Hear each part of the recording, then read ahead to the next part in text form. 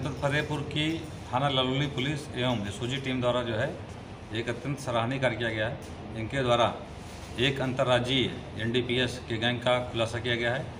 छह लोगों को गिरफ़्तार किया गया है, जिनके कब्जे से 105 किलो गांजा, एक स्कोडा कार, एक मोटरसाइकिल और लगभग छः अदद मोबाइल फ़ोन बरामद हुए हैं।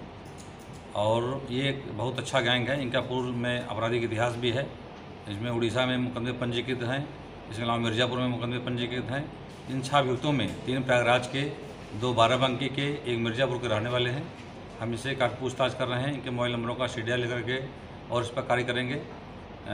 एस टीम एवं ललोली पुलिस द्वारा एक अच्छा कार्य किया गया है। पुलिस अधीक्षक महोदय द्वारा इस पूरी टीम को इस अच्छे कार्य पर पंद्रह हज़ार रुपये के पुरस्कार की घोषणा की गई है। मैं दोनों टीम को बधाई देता हूँ क्या अनुमानित लगा रहे हैं सर इतनी भारी मात्रा में नशीला प्राप्त देखिए है? पूरी जो बरामदगी की कीमत लगभग हमारी अड़तालीस लाख है जिसमें गांजे की कीमत साढ़े बारह लाख है जो हमारे स्कोडा कार है उसकी पैंतीस लाख कीमत है मोबाइल फ़ोन है उसकी भी कीमत है लगभग अड़तालीस लाख रुपये की रिकवरी की गई है